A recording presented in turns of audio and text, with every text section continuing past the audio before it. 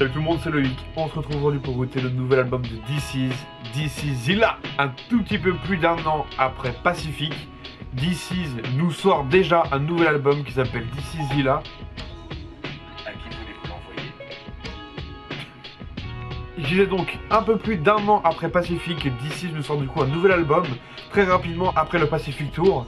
Et là en fait, ça se voit que c'est un album plus énervé. Comme d'habitude, j'ai pas goûté les singles, et en plus, il me semble qu'il a sorti un clip récemment avec deux sons justement dedans, donc j'ai rien écouté de tout ça. Perdons pas de temps, il y a 16 titres, je vois des features intéressants, je vois Sofiane et je vois Niska. Je pense que ça va être vraiment très très énervé. C'est parti pour le son numéro 1, Kaiju.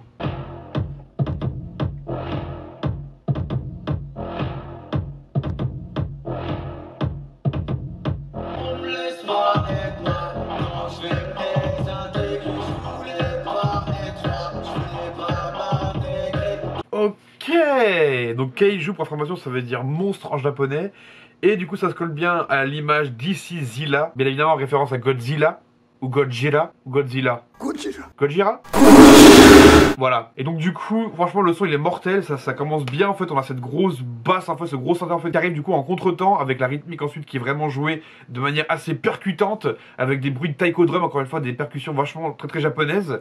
C'est pas mal du tout, j'aime bien. Et la voix de D6 du coup, et là elle est modifiée, on dirait une sorte de vocodeur. En fait, on dirait un vocodeur mais avec, une, avec un effet de modulation sur la voix. C'est assez intéressant, j'aime beaucoup. Et là, on sent vraiment que D6 a la rage. Ça commence très très bien. Numéro 2, D6 là. Je suis un kaiju, échoué vers Okinawa Un tarba blanc coronois, comme ma copine à moi Depuis le Walkman à moi, toujours gagné mes one-on-one Vous serez toujours mes padawans, tu me la feras jamais à one J'ai joué Othello, dis-moi qu'est-ce que vaut ton clip J'ai écrit 12 albums, dis-moi qu'est-ce que vaut ton feat Bitch, fuck ton feat, C'est pas très très rap, avec une instru toujours un petit peu électronique et pas très très rap encore une fois. Même si d'ici il kick ça très très fort, il a un flow de ouf sur ce son là. J'aime beaucoup les grosses références qu'il fait juste encore une fois au Japon. Il fait référence encore une fois à Godzilla, à King Kong, le choc des monstres. Il fait référence aussi à la super œuvre Akira. Ce que j'aime dans ce son là, c'est quoi? C'est qu'en fait, d'ici il montre que c'est un artiste différent.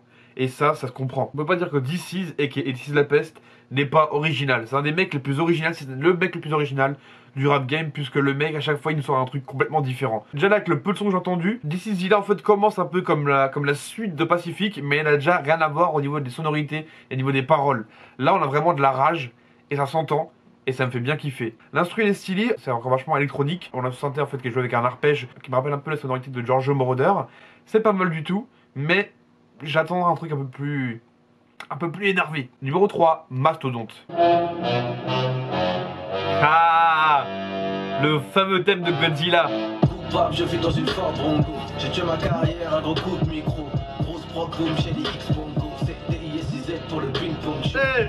Je suis mon premier public, je me donne man Parfois je m'auto-check quand je conne ça Tu sais pas kicker, j'ai pas guidé, j'ai pas kiffé Oui je sais qui c'est, je sais ce qu'il fait, j'ai pas cliqué Très très lourd. Incroyable. Incroyable. Le son commence avec le sample du thème original du film Godzilla. Donc c'est euh, le thème donc, euh, qui a été rendu populaire, j'ai envie de dire, euh, dans la culture hip-hop par Pharoah Monch avec le fameux son Simon Says.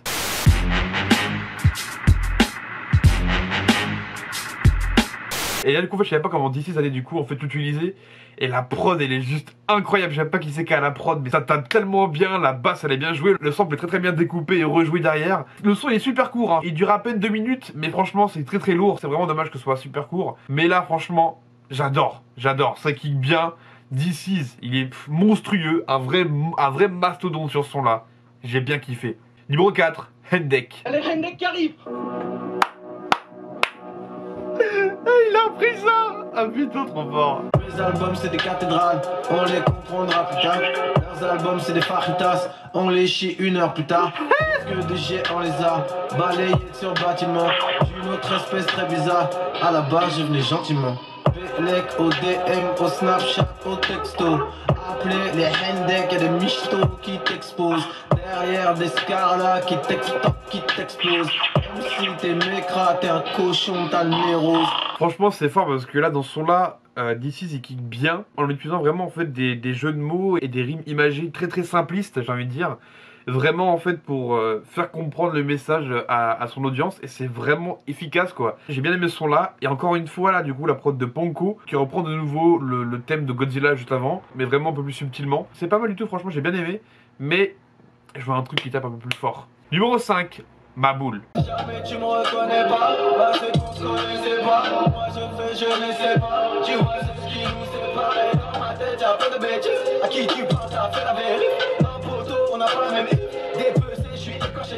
Franchement, Ma boule, c'est un bon son. Je croche pas vraiment le flow d'ici sur les couplets, mais le refrain il reste bien en tête. J'ai vraiment beaucoup aimé. Encore une fois, il me semble que c'est une prod de Ponko. J'aime bien la mélodie, j'aime beaucoup la rythmique, mais vraiment ce que j'aime par-dessus tout, c'est quoi? C'est que DC pose avec un autotune saturé en fait en fond qui est super mélodieux qui rajoute du coup beaucoup à la mélodie de la musique générale.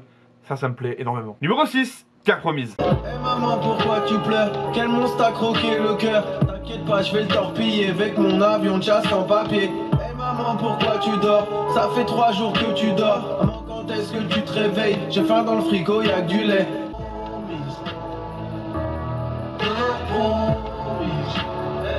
Je rêve d'une terre promise. Très très chill, ça j'aime bien.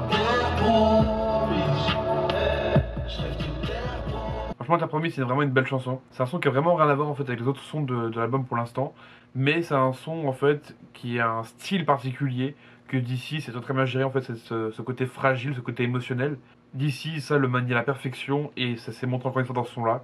Un son super, j'ai envie de dire fragile, un son très très euh, posé, très très émotionnel. La musique elle est mortelle, l'instru elle elle est simple dans sa construction parce qu'il y a une mélodie qui est jouée, je pense à un sample ou un piano en fait qui est donc resamplé derrière avec un effet de pitch bend un peu bizarre, plus un effet de vinyle pour faire ça un petit peu ancien. Mais ouais, la rythmique elle est toute simple etc. Mais c'est vraiment en fait la mélodie plus la voix de DC's en fait, parce que du coup DC's chante parfaitement bien sur ce son là.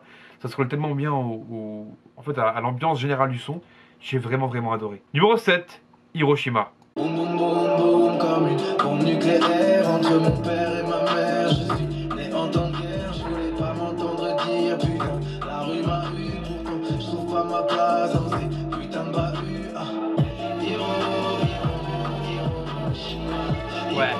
Valide de fou ça.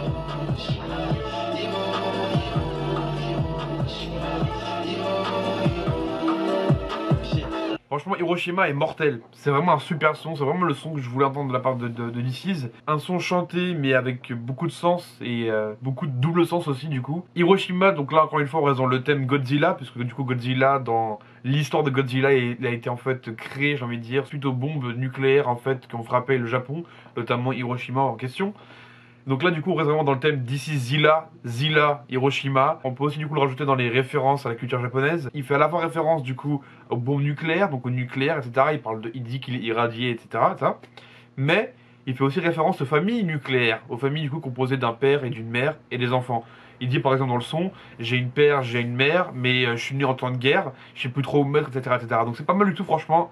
Ça, c'est le D6 que j'aime beaucoup. Numéro 8, Enfant des rues, featuring Fianso.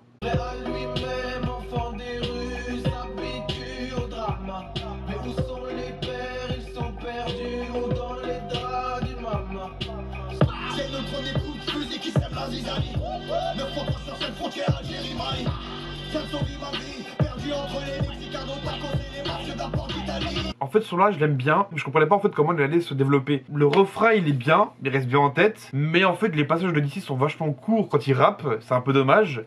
Et en fait, l'instru, lorsqu'il rappe à la base, elle est très très bizarre en fait. Elle est très très, j'ai envie de dire. Donc il y, a il y a beaucoup de percussions qui sont jouées derrière, très très percussions latines, j'ai envie de dire un petit peu. Et du coup, en fait, on a cette batterie en fait 808 classique, j'ai envie de dire, qui tape avec juste un drum bass et une snare en fait assez typique de la 808 classique. Sauf que là, en fait, lorsqu'il y a Fianso qui arrive, tout d'un coup, on a un kick en plus qui arrive et une 808 qui est jouée et en plus, on a une snare de trap. En fait, on voit vraiment qu'il y a eu un switch, vraiment en fait une grosse, un gros changement de rythme et d'instrumental en fait à partir du moment où Sofiane rentre sur l'instrumental. Sofiane a un super couplet, je kiffe comment il kick.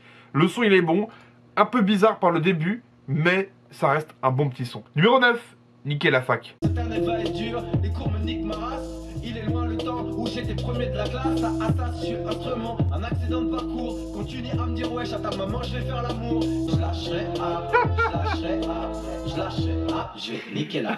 Je lâcherai, je lâcherai, niquer la. En fait, Franchement, ce son-là, il est marrant parce que du coup, c'est marrant quand d'ici ils ont fait rapper de ça. La prod est super simpliste, mais elle fait bien le taf sur ce son-là. Pas besoin de plus, pas besoin de moins. En fait, ce qui me fait rire, c'est quoi? C'est que niquer la fac, c'est un peu ce que moi j'ai fait. Parce qu'en fait, il fait référence à Assas. Et c'est ce que j'ai fait moi en fait comme parcours. Après le bac, j'ai été à Assas et j'ai commencé une licence en économie sociale. Je suis resté 4 mois. Moi, pour le coup, j'ai vraiment niqué la fac. Je suis pas resté, je me suis pas, je me suis pas battu parce que vraiment ça me saoulait. Donc donc je suis parti. Et voilà où je suis aujourd'hui Le son était cool, j'ai bien aimé le délire. Numéro 10, fuck l'époque. Si t'entends ce son et que tu restes assis, t'as l'espérance de vie d'un chat sur la assise.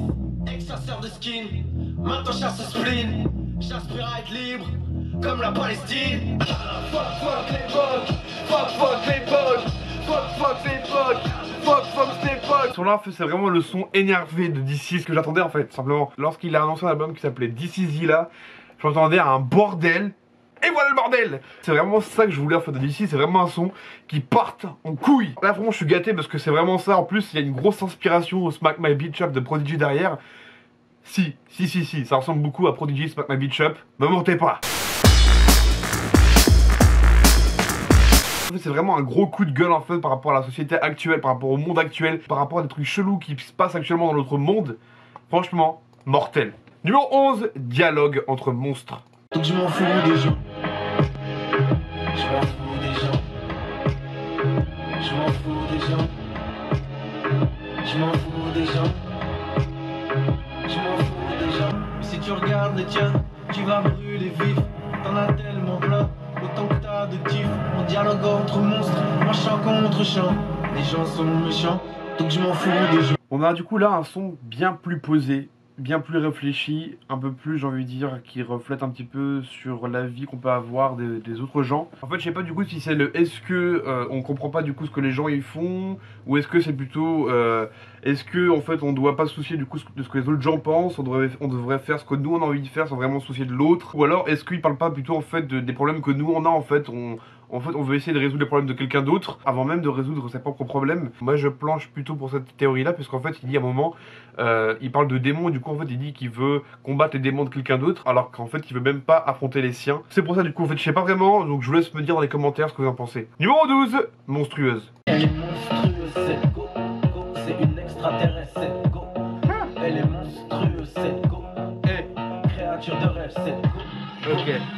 Un jour tu mettras la bague au doigt anges et démons qui m'ont conduit jusque là Amour éternel et peu importe ce qui arrive Ma Daenerys chute en Osiris Je suis pas fan de la prod. Je trouve qu'en fait la prod elle pourrait être un peu plus rythmée. Ça manque un peu de basse en fait, euh, à jouer par-ci par-là. La mélodie reste bien jouée, la rythmique fait bien le taf. J'aime bien en fait la voix qui apparaît du coup par-ci par-là avec une grosse réverb à travers la musique. C'est un son vraiment de rencontre en fait, c'est un son d'amour où du coup en fait à travers le son on voit l'évolution d'une rencontre entre D6 et cette personne. Jusqu'à la fin du son, D6 dit même je me verrais bien me marier avec toi, je me verrais bien en fait finir mes jours avec toi. Franchement, intéressant, pas hyper ouf à mes yeux. Numéro 13, oh oui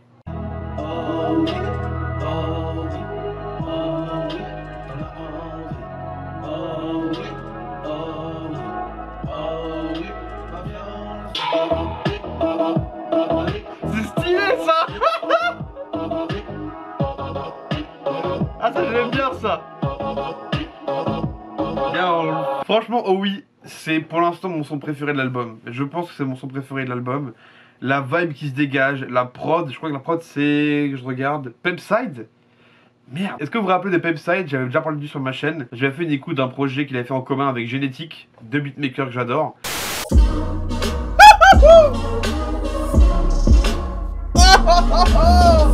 Et là, franchement, du coup, de voir une prod de lui sur un projet de DC, c'est juste énorme. Et la prod, elle est juste magnifique, quoi. Franchement, le son, il est mortel. La mélodie, là, c'est une balade, en fait. En fait, c'est une balade hip-hop, j'ai envie de dire. Une belle mélodie, une belle voix de DC's, un beau texte. Le son, il est mortel. Et là, du coup, en fait, ce passage à la fin où, du coup, en fait, il reprend le, le, Oh oui de DC's pour, en fait, le sampler.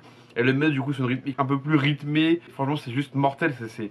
J'adore, franchement j'ai adoré, c'est mon son préféré du projet. Mais même si j'ai kiffé le son en fait, je trouve qu'il devrait pas être sur cette tracklist là. Je trouve que c'est un son qui aurait été parfait pour Pacific par exemple, mais pas pour DCZ là. Numéro 14, Cercle Rouge featuring Niska. Les Marocains de tour, je te fais la haine, je te fais la. FM, c'est des metteurs en scène. J'ai le depuis le carrousel. Donc, avec leur mère et nique leur haine. C'est plus comme avant, j'ai plus de veine, je vais tout couper. T'auras plus de veine, tu seras plus qu'un con, t'auras plus de veine. On part dans des pains, la brigade des tués pour sortir l'hélico Elles disent toujours que c'est pas net Les faux rodéos sont mon cocorico Qui en a à foutre, qui m'invite pas trop dans leur 10 Asile que j'ai pas la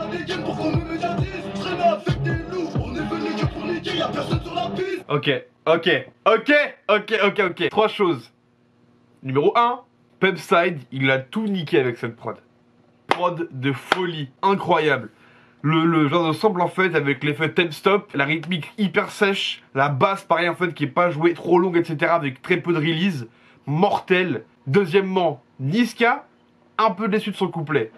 Je trouve que un peu plus de dynamisme aurait été intéressant, mais vu que l'instru en fait elle n'est pas exactement comme celle que lui utilise sur ses sons, encore une fois là du coup on a une instru beaucoup plus sèche, beaucoup plus courte j'ai envie de dire en fait dans les dans, dans, dans, les instruments, et du coup je trouve qu'il est trop lent en fait sur ses- son, son couplet, alors qu'il a un bon début mine de rien, mais bon, j'ai bien aimé mais c'était pas un super couplet de la part de Niska. Troisièmement, DC's, il a plié le son, il a tout niqué.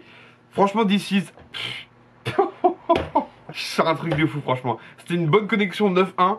Mais là, franchement, d'ici, il a plié le morceau, c'est un truc de ouf. Meilleur son de rap de l'album. Numéro 15, tout partira. J'en ai des. Si tu m'aimes, je t'arracherai les ailes. Je suis fidèle à moi-même quand je trompe. Donc je fais tout pour être infidèle. Je ne suis vrai que quand je tombe. Donc maintenant je vis ma vie sans filet. Et je me ressemble plus trop comme un portrait robot. Y a quelque chose qui est cassé, j'ai le visage Picasso. La fois qui s'est cassée, je ne la poursuis même plus. Je sais pas ce qui s'est passé, peut-être que Dieu ne m'aime plus. Waouh, je m'attendais pas un son comme ça sur le, sur le projet. Encore une fois, ça a des vibes très très de pacifique. Mais en fait, ça reste un son où en fait, euh, Diz est vraiment très, très personnel. Il parle vraiment de sa vie, de ce qu'il a vécu, de ce qu'il a ressenti. Super émotionnel, c'est super personnel. C'est vraiment incroyable, il le pose super bien. La prod, elle est incroyable. Encore une fois, Pepsi dans la prod. Juste prod magnifique, super mélodie.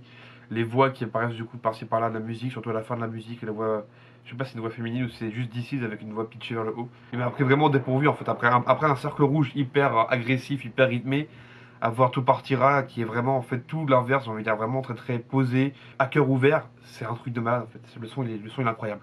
Numéro 16, dernier son, Ulysse. Ulysse 31, je dans des contrées lointaines. Plus du tout humain, on m'a mis en quarantaine, on m'a mis entre parenthèses, on m'a coupé mes antennes. Pourtant j'étais pas mort, j'ai reçu des chrysanthèmes. Là,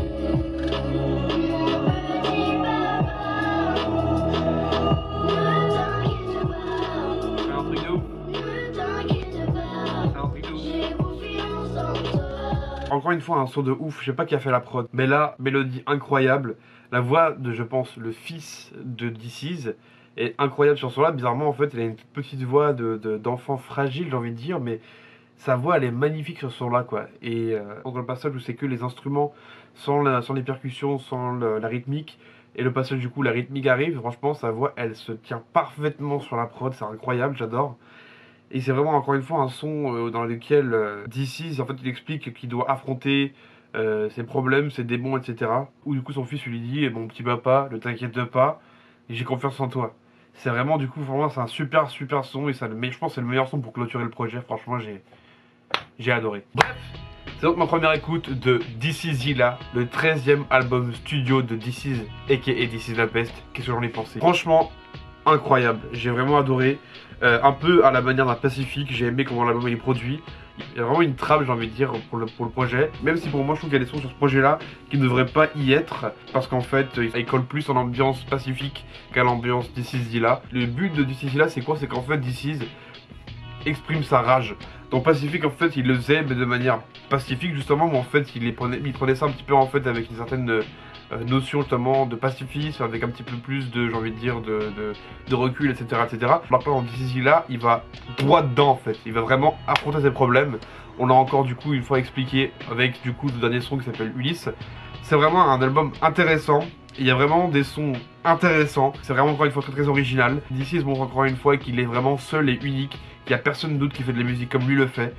Franchement, j'ai vraiment été agréablement surpris. J'ai vraiment beaucoup aimé ce projet-là. Il y a des sons que j'ai beaucoup moins aimé que d'autres. Mais dans l'ensemble, ça reste un très très bon projet. Il y a moins de sons dansants, j'ai envie de dire entre guillemets, que, que, que dans. Il me semble qu'il y a autant de featuring. Je pense que dans Pacific, il y avait 2-3 featuring. Et là, il y en a 2-3 featuring à peu près. Donc ouais, ça reste très très léger niveau featuring. Ce qui est intéressant du coup. Mais il faut dire ce qui est, j'ai préféré le couplet de Sofia au couplet de Niska. Le projet est super bien produit. Très très bonne prod. Très très bon chant. J'ai envie de dire très, très bonne voix d'ici sur beaucoup des musiques en fait où il chantonne. Je trouve que ça manque de sons vraiment agressifs. Vraiment. Il y a eu des sons justement en fait où c'était très rap agressif. Il y a des sons où c'était carrément même très, très j'ai envie de dire euh, mi-punk rap j'ai envie de dire où du coup je reprends je reprenais l'exemple du coup de Beat Chef de Prodigy. Et en fait il manquait fois justement fait ces sons ont vraiment énervé. Je prends l'exemple de Kenny West par exemple avec son album Jesus qui est en fait un album où il était énervé. Donc un album de 10 titres où il y a des sons où ça part en couille. C'est vraiment un album où il, s'est lâché. Par exemple si je vous mets Black Skinhead vous allez pas me dire ouais c'est un son où il a l'air d'être posé. Baby,